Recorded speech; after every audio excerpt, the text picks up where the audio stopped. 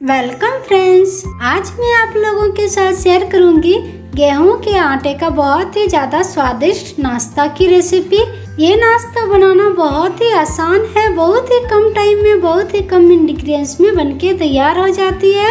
यकीन मानिए, इस तरह का नाश्ता आज से पहले आप लोगों ने नहीं बनाए होंगे।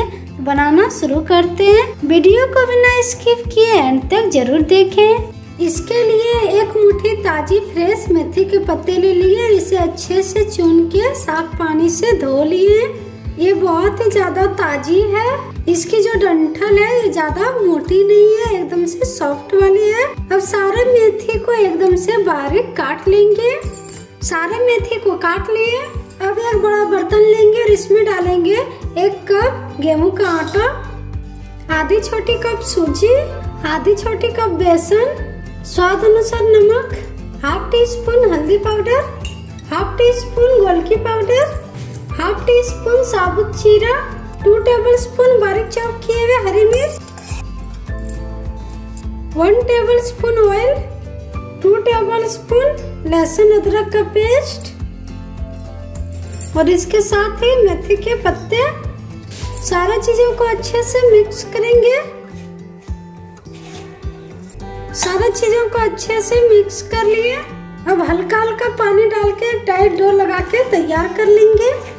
एक बार में ज़्यादा पानी नहीं डालेंगे थोड़ा थोड़ा पानी डाल के एक टाइट डो लगाएँगे। इस तरह का मेथी आटा का नाश्ता खाने में बहुत ही ज़्यादा स्वादिष्ट लगती है।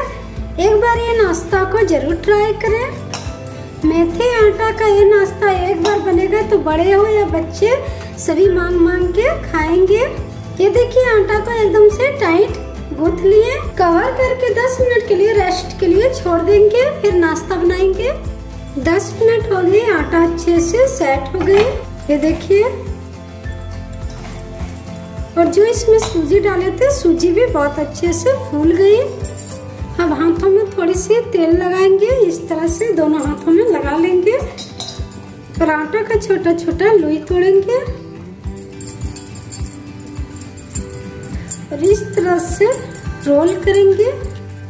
ना ज़्यादा मोटी, ना ज़्यादा पतली मीडियम साइज़ का रोल बना के तैयार कर लेंगे। इसी तरह से सारे आटा का रोल बना लेंगे। सारे रोल बना के तैयार कर लिए अब इसे स्टीम करेंगे। स्टीम करने के लिए पानी पहले से गर्म कर लिए। इसके ऊपर से रखेंगे एक स्टील का छन्नी। छन्नी को तेल से ग्रीस कर लिए। अब इसके ऊपर से रखेंगे ये रोल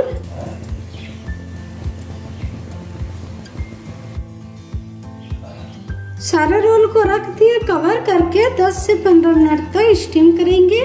10 से 12 मिनट हो गई एक बार चेक कर लेते हैं।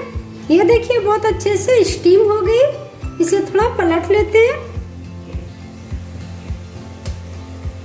इस तरह से पलट के भी दो से तीन मिनट तक स्टीम कर लेते हैं, ताकि अंदर से एकदम से अच्छे से स्टीम हो जाए।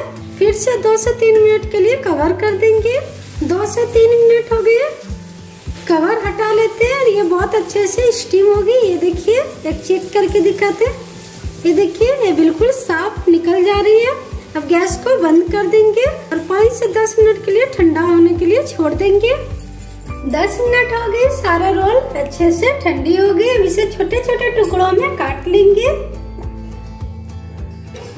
इस तरह से अब मोटी पतली आप अपने हिसाब से काट सकते हैं। इसी तरह से सारे रोल काट के तैयार कर लेंगे।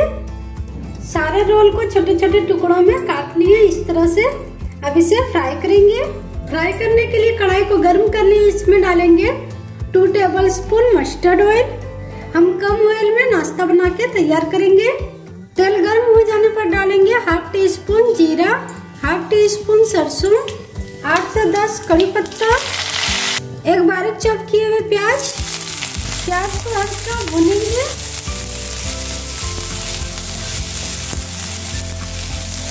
प्याज हल्का भुन गए? अब इसमें डालेंगे हाफ़ टी स्पून हल्दी पाउडर हल्दी को हल्का भूनेंगे। अब इसमें डालेंगे आटा वाला नाश्ता।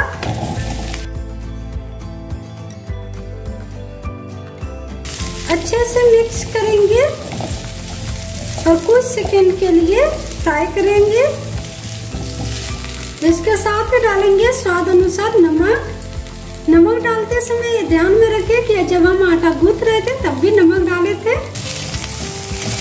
अच्छे से चलाते हुए कुछ सेकंड फ्राई करेंगे। बहुत ही कम ऑयल में ये नाश्ता बन जाती है और ये खाने में बहुत ही ज़्यादा स्वादिष्ट लगती है। और ये आटे से बनी है तो ये बहुत ही ज़्यादा हेल्दी है। लगातार चलाते हुए भुनेंगे। लगातार चलाते हुए कुछ सेकंड हो गए आटा और मेथी का ये नाश्ता मेरा अच्छे से फ्राई हो गई है। अब गैस को बंद कर देंगे और इसके ऊपर से डालेंगे थोड़ी सी बारीक कटी हुई हरी धनिया। आटा का एकदम से हेल्दी स्वादिष्ट नाश्ता बनके तैयार है। ये सब करने के लिए बिल्कुल रेडी है। बहुत ही स्वादिष्ट गेहूँ के आटे का नाश्ता मैंने बना के तैयार कर लिए इसे आप गर्मा गर्म टमाटो सॉस या हरी चटनी किसी के साथ भी खा सकते हैं। ये सभी के साथ खाने में बहुत ही ज़्यादा स्वादिष्ट लगती है। वीडियो पसंद आए तो प्लीज़ वीडियो को लाइक करें। ऐसे ही आसान रेसिपी देखने के लिए अभी तक आपने मेरे चैनल को सब्सक्राइब नहीं किए तो प्लीज़ चैनल को सब्सक्राइब करें। साथ ही बेल आइकन को प्रेस करना ना भूलें। इससे मेरे आसान रेसिपी के वीडियो के नोटिफिकेशन आपको मिलेंगे सबसे पहले। Thank you